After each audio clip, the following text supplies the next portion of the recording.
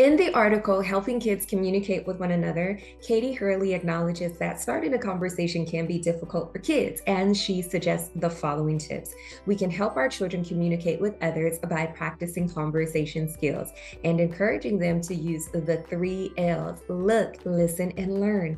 Look at the person you're speaking to and practice to wait and respond. Also, ask questions and replace I don't know with I think you can also play catch while you talk. This will allow your child time to learn how to wait, catch that ball, pause, then respond and throw the ball back. Now, a fun way is to try continuous stories. This is when one person starts a story with a sentence and the next person picks up, continues the story with the next sentence, and you go around until the story is complete.